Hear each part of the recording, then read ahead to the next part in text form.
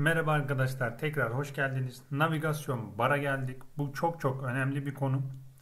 Şimdi e, arkadaşlar bir sürü web sitesinde hatta burada da görüyorsunuz. Yukarıda üst bir menü var. Bunlar navbar menü olarak geçiyorlar.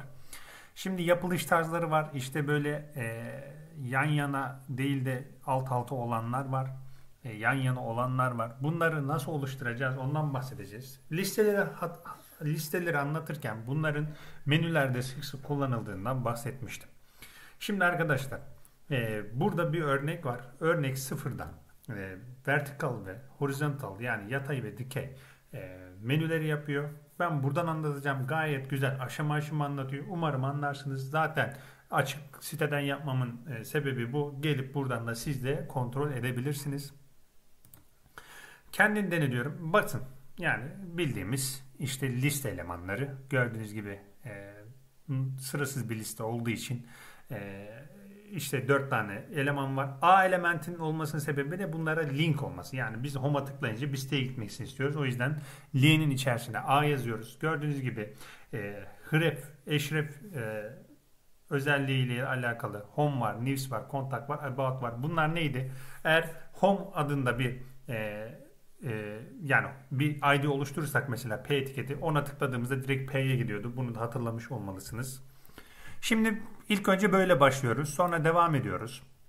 Sonra gördüğünüz gibi arkadaşlar yani liste tipleri orada iyi durmuyor değil mi? Bir menüde başında nokta istemezsiniz. Ve margin ve padding'i sıfırlamış. Ben bunu hep Universal Selector'da sıfır yapıyorum demiştim. Yapmazsan ne oluyor bakalım. Bunu silelim. Gördüğünüz gibi kendiliğinden bunların bir boşlukları var. O boşlukları uyguluyor ve böyle dışarıda oluyor. Onu geri getirdiğimiz zaman gördüğünüz gibi tam sıfırlıyoruz. Evet aşama aşama gidiyoruz. Boşlukları kaldırdık. Ee, ve aynı zamanda da e, işaretlerinde kaldırdık. List still type none diyerek ve margin ve padding 0 diyerek. Ondan sonra devam ediyoruz arkadaşlar. Şimdi gördüğünüz gibi şunu yapmaya çalışacağız. Şimdi e, gördüğünüz gibi UL'ler var ve li'ler var değil mi?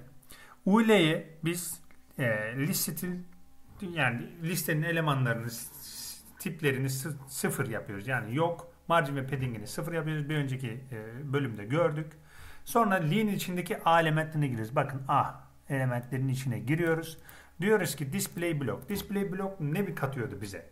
Display block olunca tamamen bir satırı ona ayırıyoruz. Değil mi? Tamamen bir satır ona ait.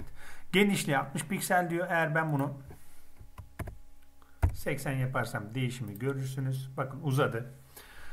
Böyle yaptık. Arka plan rengi verdik. Zaten e, elementler neleri list, e, stillendirdiğimize dikkat etmenizi istiyorum. Bunları UL'nin içinde yazıyoruz.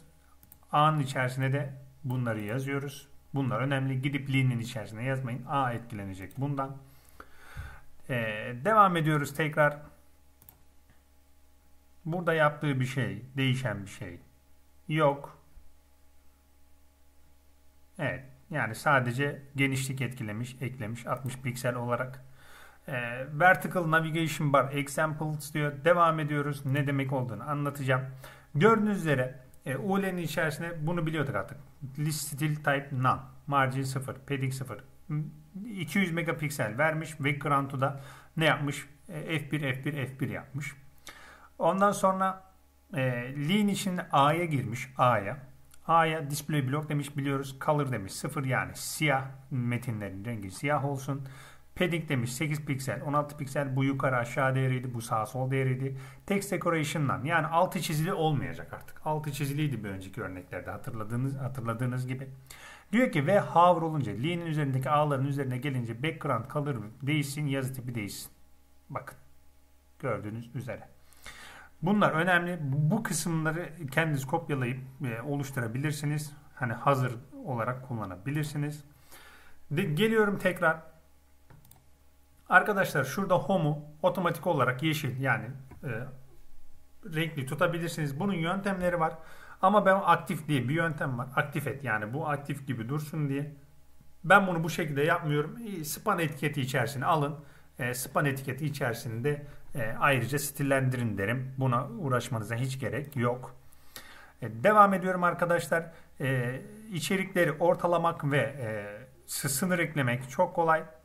Sınırı e, UL listemize listemize ekliyoruz. Sınır border 1 piksel diye burada ekliyoruz sınırımızı ve e, tabi içerisindeki e, liste içerisindeki elementleri o, e, ortalayacağımız için text align center'ı buraya yaz bunun içine yazıyoruz. Mesela arkadaşlar burada hasbel kader yani bunu buradan aldınız buraya koydunuz ne oluyor? Değişen hiçbir şey yok. Yani burada göstermek istediğim şu.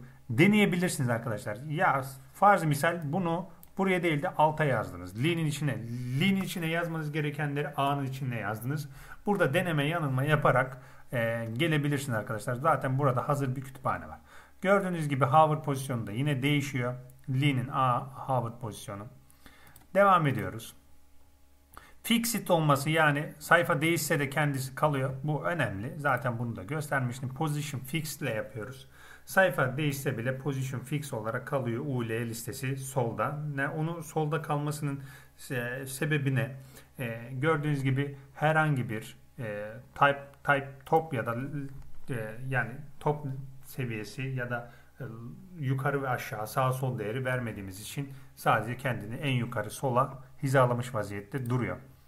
Şimdi bu ders çok uzun olmasın. Bir sonraki derste horizontal'dan bahsedeceğim. E, horizontal navbardan bahsedeceğim. Umarım faydalı olmuştur ders. Bir sonraki derste görüşmek üzere.